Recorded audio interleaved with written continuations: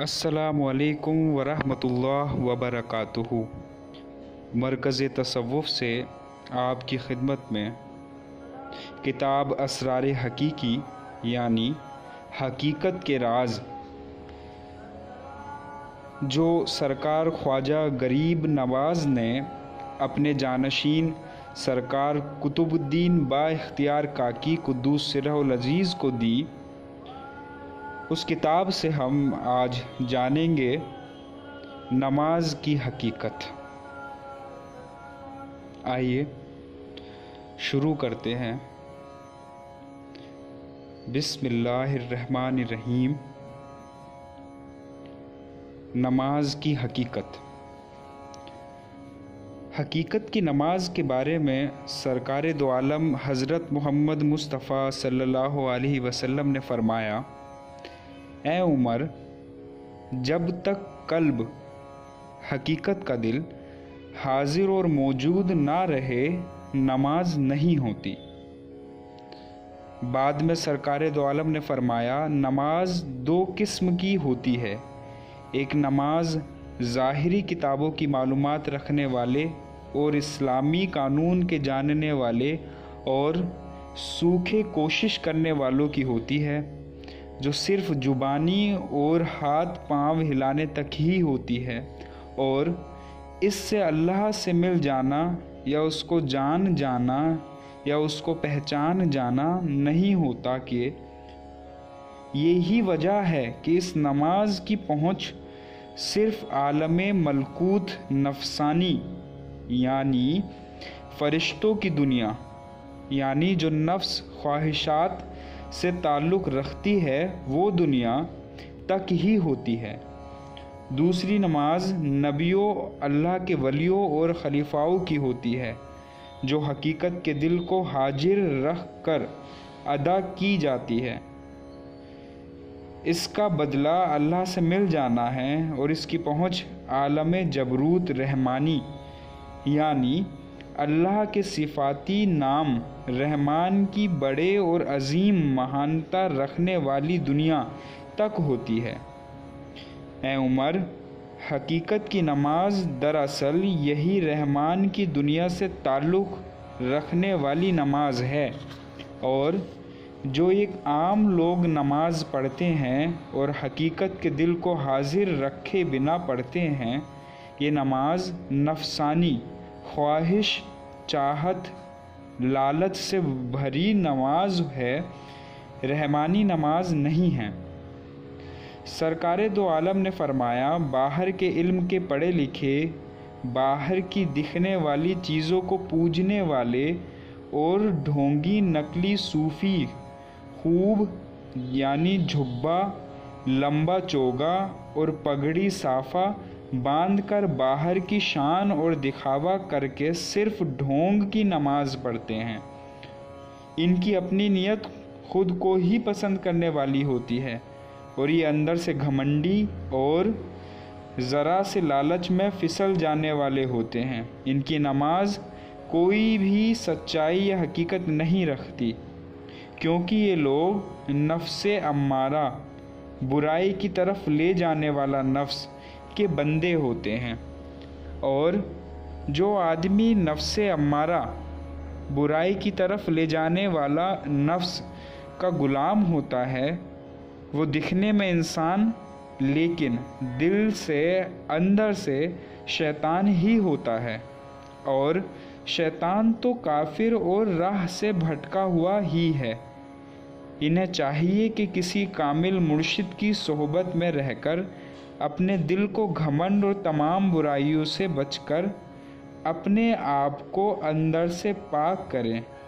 जिन लोगों का दिल शैतान के असर से गुमराह है, वो खुद भी इस बात को नहीं जानते। ऐसे लोग हकीकत में राह से भटके हुए, गुमराह और काफिर हैं। ये बात और है कि आज के दौर में हर इंसान अपने आप को गलत इल्म, रस्मी मालूम और रिवाज़ों की बुनियाद पर ख़ुद को कामिल और सच्चा मुसलमान समझता है। उसे ये मालूम ही नहीं है कि हकीकत में मुसलमान किसे कहते हैं। ऐसे लोगों के लिए ज़रूरी है कि वो सबसे पहले अल्लाह की पहचान हासिल करें, जिससे वो सही मायनों में इंसान बन जाए। और भटकी हुई गलत राह को छोड़कर सीधी राह पर आ जाएँ, तभी इनकी नमाज़ हकीकत की नमाज़ होगी। और यही हकीकत की नमाज़ अल्लाह ताला के यहाँ कबूल होगी। और अगर अच्छी किस्मत के रहते ऐसा हकीकत की नमाज़ पढ़ने हज़ारों लाखों में से एक भी मिल जाए तो उसकी खिदमत और सोहबत यानी सीखने की नीयत से उसके साथ रहना अक्सर अहमर। जैसे सुर्ख खून फ़ायदा करता है, उससे भी बेहतर है। ये गुमराह भटके हुए हकीकत में बुतों को पूजने वाले हैं। और ताज्जुब और हैरानी की बात ये भी है कि ये अपने इस तरीके की बुतों को पूजने जैसी हरकत पर इसको अच्छा समझकर इस पर इतराते भी हैं। और आम लोग अंदर से इतने अंधे और नादान हैं, जो ऐसे नकली ढोंगियों को नमाजियों में गिनते हैं। ऐसी बिना हकीकत की नमाज़ से क्या फ़ायदा? हदीस कुदसी, यानी अल्लाह का फरमान है कि अम्बिया और ओलिया हमेशा दिल को हाजिर रख कर हकीकत की नमाज़ कायम करते हैं। सरकार दो आलम ने फरमाया अम्बिया और ओलिया की नमाज़ हकीकत में वो नमाज़ है कि जब वो नमाज़ में, बल्कि हर वक्त ही उनकी पाँचों हवास, यानी देखना, सुनना, बोलना, सूंघना और छूना अल्लाह के सिवा सब के लिए बंद रहते हैं, वो देखने में तो सब काम करते नज़र आते हैं, लेकिन हकीकत में वो एक लम्हे के लिए भी अल्लाह ताला से अलग नहीं होते, और इनका एक एक सांस अल्लाह की ही याद में गुज़रता है। वो अपने एक एक सांस का ख्याल रखते हैं कि कहीं कोई भी एक सांस अल्लाह को याद किए बिना ना गुज़र जाए। यही लोग दरअसल हकीकत के नवाजी हैं। ए उमर, हकीकत की नमाज़ ही रहमानी है। इसी हकीकत की नमाज़ से अल्लाह ताला से मिलना हो जाता है। ए उमर अम्बिया सलाम और ओलिया हमेशा ज़िक्र खफ़ी, यानी छुपी हुई अंदर से याद, खुफिया याद में रहते हैं। सरकार दो आलम ने फरमाया, सिर्फ़ ज़ुबान से बोलना या याद करना लक लका यानी सारस की आवाज़ की आवाज़ याद रहे, सारस बिना सोचे समझे, बिना दिल को हाजिर किए आवाज़ करता है। यानी बेकार में आवाज़ करना है। और जो ज़िक्र या याद दिल से की जाए, वो वसवसा, यानी बदी, बुराई, बुरे ख्यालात, यहाँ ख्याल रहे कि यहाँ दिल से मकसद नकली दिल से है, जो हम पहले पढ़ चुके हैं। और रूह से किया हुआ ज़िक्र या याद अल्लाह ताला को देखने की वजह बनता है और छुपा हुआ ज़िक्र तो हमेशा हुआ करता है। ए उमर, छुपा हुआ खुफिया ज़िक्र और हकीकत की नमाज़ तो अपने होने को ही ख़त्म कर देना है। कोशिश करने वालों की नमाज़ सजदा और सुजूद होती है। आशिकों की हकीकी नमाज़ तो अपने होने को ही ख़त्म कर देना होता है। यानी अल्लाह के सिवा किसी को मौजूद ना समझना, और अल्लाह के सिवा भी कोई है इस ख्याल को बिल्कुल अपने अंदर से निकाल देना। नंबर एक अल्लाह ताला ने अपने करम से मोमिनों को दुनिया के सब आराम दे रखे हैं। नंबर दो, इनके लिए खाना पीना और पहनना सब हलाल भी है। तीन, बीवी और माल दौलत, जायदाद रखने की इजाज़त भी है। चार इनके लिए शरीयत के मुताबिक राहत और सुकून सबकी इजाज़त है। पाँच, लेकिन बहुत बड़ा फ़र्क है इस दुनिया को ही सब कुछ समझकर इसमें डूब जाने वाले में। इस दुनिया को ही सब कुछ समझकर इसमें डूब कर रह जाने वाला, चाहे ज़ाहिर में कितना भी रोज़ा नमाज़ करता रहे, उसके अंदर मीठी मीठी जलन और पिघलने की ताकत नहीं होती। यानी नर्म दिल और अल्लाह से इश्क की मीठी जलन उसमें नहीं होती। वो बेदिली से ये सारे काम करता है, उसके दिल में अल्लाह का नूर नहीं होता। उसका दिल तो दुनिया की मोहब्बत में डूबा है, वो तो हकीकत से बिल्कुल बेखबर होकर गाफिल होकर सो रहा है। हकीकत के अच्छे इंसान तो इस दुनिया के काम को भी अल्लाह का सौंपा हुआ काम समझकर करते हैं। बेदिल से रोज़ा, नमाज़ रख करने वालों की आरज़ू की बस ये हद है कि वो हमेशा इस बुरी और भोंडी दुनिया के लालच में ही रहते हैं। और जो सच्चे दिल से सब नेक काम करते हैं, उनकी तो मंजिल और मकसद यही होता है कि बस अल्लाह का दीदार और उससे मुलाकात हो जाए। और जो लालच से इबादत करते हैं, उनका मकसद तो माल, औलाद और आरामदेह ज़िंदगी के ज़रिए हों और सोना चांदी और ख़ूबसूरत बीवी हो, बस यही लालच होता है।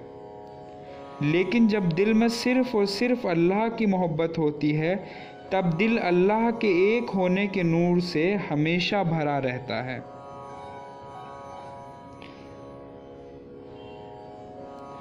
सरकार सूफ़ी गयासुद्दीन शाह की गुजारिश। मेरे दिली दोस्त, मेरे भाई, हमने सरकार गरीब नवाज़ के हवाले से सरकार दो आलम की इस रूहानी, अंदरूनी तालीम को पढ़ा, देखा और समझा समझा कि ये जो आम तौर पर नमाज़ पढ़ी जाती है, ये नफसानी नमाज़ है, ये ख्वाहिश और लालच से भी भरी नमाज़ है। इसकी कोई बहुत बड़ी कीमत नहीं है। ये तो बस देखा देखी वाली नमाज़ है। ये बात बड़ी ही गहराई से सोचने और समझने वाली है कि हम अक्ल के अंधों की तरह वो पढ़ते हैं जिसके मायने हम नहीं समझते। जैसे हम कोई भी छोटी से छोटी किताब समझकर पढ़ते हैं, लेकिन कुरान शरीफ को बिना समझे ही दोहराते जा रहे हैं। कि सवाब मिलेगा। सवाब सिर्फ़ उस शर्त पर ही मिल सकता है, जबकि हम कुरान शरीफ को इस नियत और इरादे के साथ समझकर पढ़ें कि अल्लाह ताला ने इसमें हमारे लिए क्या फरमाया है, क्या हुक्म दिए हैं, और फिर उन हुक्मों पर अमल करें। तब ही सवाब की उम्मीद लगाना बेहतर है, वरना बेकार है। हकीकत की नमाज़ तो रहमानी नमाज़ है।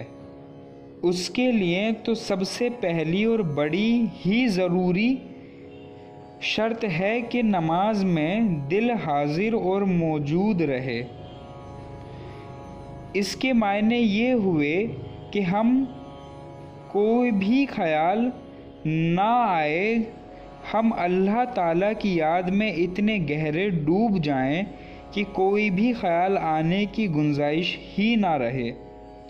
हम अल्लाह ताला की याद में इतना गहरा डूब जाएँ कि हमें ये भी पता ना हो कि हमारे बराबर में कौन है।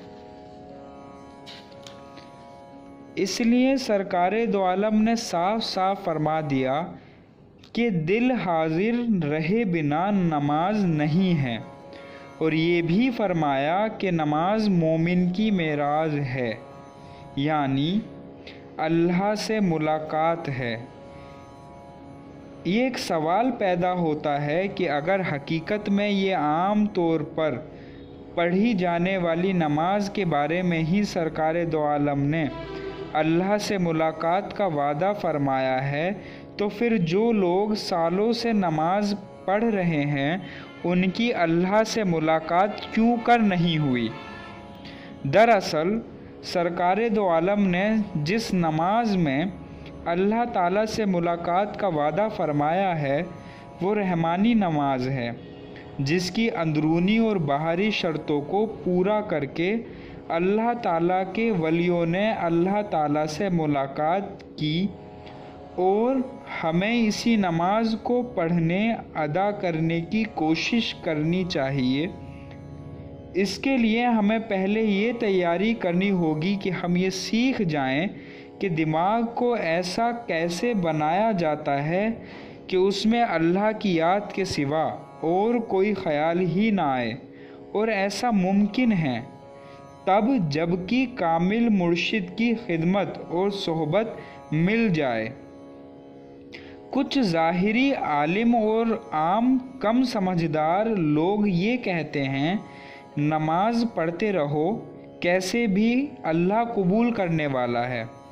झूठ है ये बात, गलत है ये बात। ये बात समझदारी की नहीं है, झूठी तसल्ली और झूठी उम्मीद है इस बात में। जब इंसान उन अंदर की और बाहर की ज़रूरी शर्तों को पूरा ही नहीं करेगा, जो अल्लाह ताला ने और सरकार दो आलम ने फरमाई है तो क्यों कर नमाज़ कबूल होगी? हरगिज़ कबूल नहीं होगी, चाहे कितना सर पटकते रहो। ख़त की आगे की तालीम से हमें ये भी पता चला कि आम तौर पर नफसानी नमाज़ पढ़ने वाले हकीकत में बुतों को पूजने वाले जैसे ही हैं, लेकिन वो इस बात को नहीं जानते। और इससे भी ज़्यादा हैरानी की बात यह है कि वो अपने इस गलत काम से बहुत खुश हैं। हकीकत की रहमानी नमाज़ में तो इंसान की पाँचों हवास काम ही नहीं करती। और इंसान अल्लाह ताला की याद में इतना गहरा डूब जाता है कि उसे कोई ख्याल ही नहीं आता। और फिर मेराज अल्लाह से मुलाकात होती है। दुआ। या अल्लाह, हमें हकीकत की रहमानी नमाज़ समझने, अदा करने और कायम करने की तौफीक और हिम्मत अता फरमा। आमीन। हमने सीखा। सरकार दो आलम की रूहानी तालीम, जो सरकार गरीब नमाज़ के ज़रिए हम तक पहुँची, उससे हमने समझ लिया और सीख लिया कि हम जब तक हकीकत का दिल हाजिर ना रखें, नमाज़ नहीं होती। इसलिए हमें पहले हकीकत का दिल नमाज़ में हाजिर रहे और कोई ख्याल ना आए और पूरी तरह से हम अल्लाह ताला की याद में डूब जाएँ, सबसे पहले ये सीखना होगा। ये सीखने के बाद ही हम हकीकत की नमाज़ अदा करने और कायम करने के हो सकेंगे। हमने ये भी सीखा और समझ लिया कि एक तो नफसानी नमाज़ होती है जिसे रस्मों से सीख कर और बाहरी तरीके अपनाकर बिना दिल को हाजिर किए ख्यालों में रहकर पढ़ी जाती है, जो आम तौर पर चल रही है, इसकी कोई कीमत नहीं है। कितनी अजीब है नेकियों की जस्तजू गालिब। नमाज़ भी जल्दी में पढ़ते हैं, फिर से गुनाह के लिए। हमने ये भी पढ़ा समझा और सीख लिया कि हकीकत की नमाज़ तो रहमानी नमाज़ ही, है। जो कि नमाज़ के लिए अंदर और बाहर की सब शर्तों को पूरा करते हुए दिल को हाजिर रख कर बिना ख्यालों के अल्लाह की याद में डूबकर अदा और कायम की जाती है और इसी नमाज़ के ज़रिए अल्लाह का दीदार हो सकता है। इसी नमाज़ को कायम करने का कुरान शरीफ में हुक्म है और अल्लाह के तमाम वलियों ने यही नमाज़ कायम की है। भाई, सरकार गरीब नवाज़ ने तो जो तालीम उन्हें रूहानी तरीके से सरकार दो आलम से मिली, उसमें साफ़ साफ़ फरमा दिया कि आम तौर पर नमाज़ पढ़ने वाले बुतों को पूजने वालों के बराबर हैं।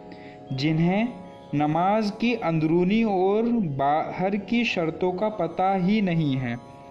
और परेशानी इस बात की है कि वो अपने इस काम पर इतराते हैं और बाकी सब लोग भी उनकी तारीफ़ करते हैं।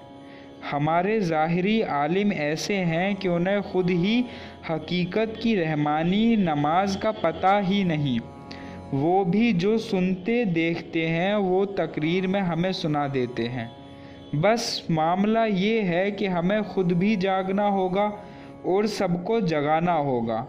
मानना छोड़कर हकीकत को जानना होगा और सबसे पहले अल्लाह की याद में डूबना सीखना होगा, वरना नमाज़ बेकार हो जाएगी और उसका मकसद हासिल नहीं होगा। इसके अलावा हमने ये भी सीखा कि नमाज़ का असली मकसद अल्लाह ताला का दीदार होना है। अगर हमें नमाज़ में अल्लाह ताला का दीदार नहीं होता तो उसका मकसद ये हुआ कि हम हकीकत की रहमानी नमाज़ जानते ही नहीं। और ये हकीकत सरकार दो आलम की इस सही हदीस से साबित है कि नमाज़ मोमिन की मेराज अल्लाह से मुराकात है। अब हमें रस्मी मुसलमान बने रहना छोड़ना चाहिए और हकीकत में सच्चा मुसलमान बनने के बाद मोमिन बनना चाहिए और मोमिन बनने के बाद ही हम इस काबिल हो सकेंगे कि हम बिना किसी ख्याल के सिर्फ़ और सिर्फ़ अल्लाह ताला की याद में डूबकर नमाज़ अदा कर सकेंगे। कायम कर सकेंगे। और यही रहमानी नमाज़ है। और ख़्याल रहे कि कामिल मुर्शिद, जो कि रहमानी नमाज़ और सजदा जानता हो, उसकी सोहबत और ख़िदमत के बिना ये मुमकिन नहीं है। शुक्रिया।